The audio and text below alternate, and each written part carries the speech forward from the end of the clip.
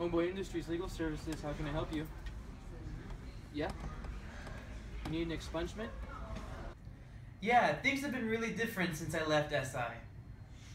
I wear more t-shirts.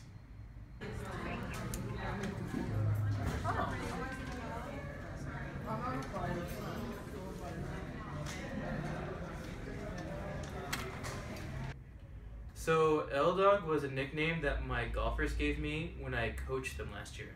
I didn't like it very much. But on the flip side, Homeboy Industries has been really great. I work in legal services and everyone there has been super helpful. I really love my job.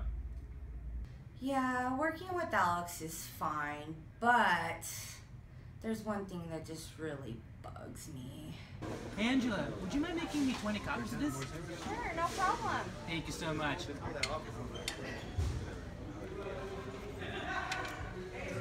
The shoot and wink. I hate that. If he does it one more time, I may shoot him back. Like, actually. One thing I like about Homeboy is that everyone is like family. Everyone seems to just have a really personal relationship with one another. Hey guys, how's it going? It's going good. Good, good man. Good. Have a good day, guys. You too. I have no idea who that guy is. Hasn't he been here for like a month? What's his name? Andrew? No, that's IT guy. Adam? No, that's Andrew's assistant. And he has a beard. Hey, hey. I still don't know who that guy is. So what's it like working with Father Greg?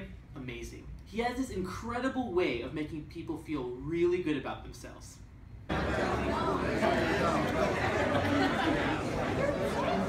Hey, everybody.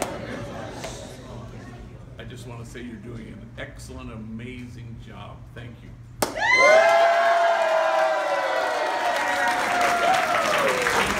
Yep. It's all about loving people, meeting them where they're at. That's the key to homeboy. And kinship, a word that I copyrighted. Yeah, in this book. Book you should have purchased and read. That's right, SI. We look forward to seeing you next week. We'll be there.